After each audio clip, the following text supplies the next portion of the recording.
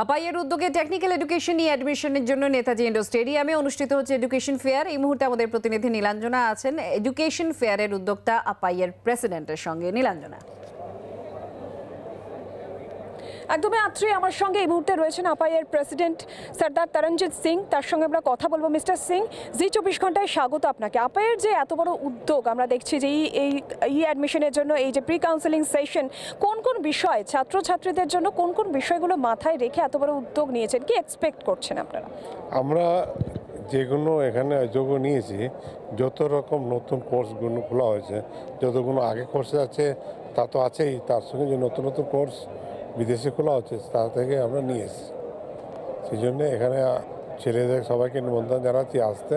আসলে এখানে ভালো ভালো কোর্স নতুন কোর্স ফিউচার ক্যারিয়ারের জন্য খুবই ভালো হবে। কারণ যারা কালকে ফিউচারে চাকরির ক্ষেত্রে এগুলো প্লাস লাইফের জন্য দুজনের ভালো হবে। এই যে বিভিন্ন ইনস্টিটিউশন তারা নিজেদের স্টল দিয়েছেন এবং তারা, তাদের যে সমস্ত কোয়ালিটিসগুলো রয়েছে স্টুডেন্টসদের জন্য কোর্স বিভিন্ন রকমের কোর্স টেকনিক্যাল কোর্স প্রোভাইড করছে। কেমন রেসপন্স রেসপন্সটা ভালো। কারণ আজকের দিনে কেউ মানে আর এই মেকানিক্যাল সিভিল এগুলো পড়তে চায় না। কিন্তু ওরা এর মধ্যে এখন এআইসিটি সমস্ত কোর্স কম্পিউটার রিলেটেড করে দিয়েছে। কম্পিউটার মেকানিক্যালে কম্পিউটার কারণ মাস্ট হয়ে গেছে, আগে যেগুলো ছিল না।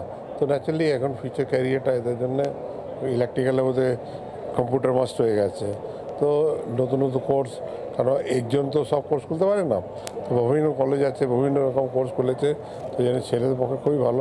এই জন্য আমি বারবার বলছি নিবন্ধন দিচ্ছি ছেলেদেরকে কি ছেলেরা বারবার এখানে আসুক। বারবার প্রত্যেক স্টলে যান, প্রত্যেক স্টলে গিয়ে দেখুন কি, কোন কলেজ কী কোর্স করেছে